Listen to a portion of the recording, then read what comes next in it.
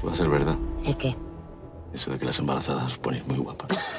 La cartelera del último fin de semana de agosto viene marcada por el estreno del thriller español Quien a hierro mata. Luis Tosar interpreta a Mario, un hombre ejemplar que trabaja en una residencia donde ingresa el narco más conocido de la zona. Un fallo en el negocio familiar hará que uno de sus hijos pida ayuda a Mario, quien ya tiene sus propios planes. Empezaba a pensar que igual podía por fin dejar atrás toda esa mierda. Hasta que un día apareció usted por esa puerta, ¡zas! como un mazazo. En Objetivo Washington DC, Mike Banning vuelve a estar en el punto de mira tras haber sido acusado del intento de asesinato al presidente de los Estados Unidos. El agente intentará descubrir quién le ha tendido la trampa y capturar al verdadero asesino.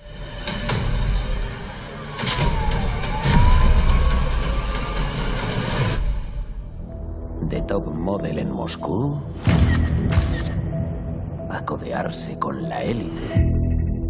¿Cuál era su relación con Oleg Filankov? La supermodelo Ana Poliatova se convierte en una de las asesinas al servicio del gobierno más letales del mundo, gracias a su mente fría y calculadora y su entrenamiento militar. ¿Cómo que?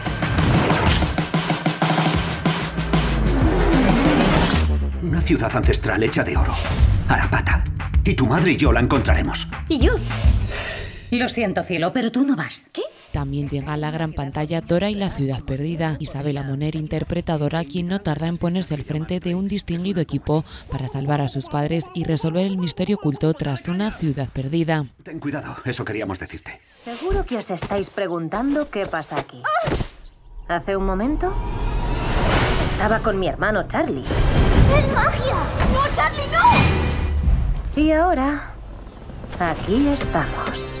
Playmobil, la película, cuenta la historia de Marla que se embarca en una épica aventura para encontrar a su hermano Charlie que se ha adentrado en el mágico mundo de Playmobil. En este mundo, nada es lo que parece.